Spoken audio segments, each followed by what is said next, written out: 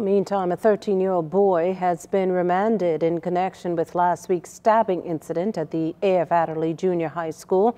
This, the end result of the juvenile's court appearance, during which he was formally charged with attempted murder. The teen was not required to enter a plea to the charge. Bail was denied.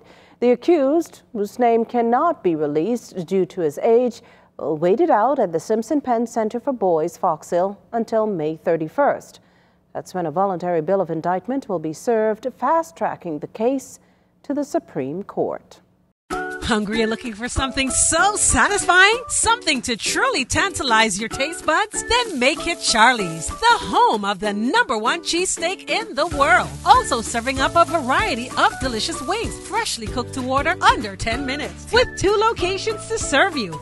Mall at Marathon, open from 11 a.m. until 7 p.m., the East West Highway next to Solomon's from 11 a.m. until 10 p.m. That's Charlie's, the home of the number one cheesesteak in the world. 393 3100.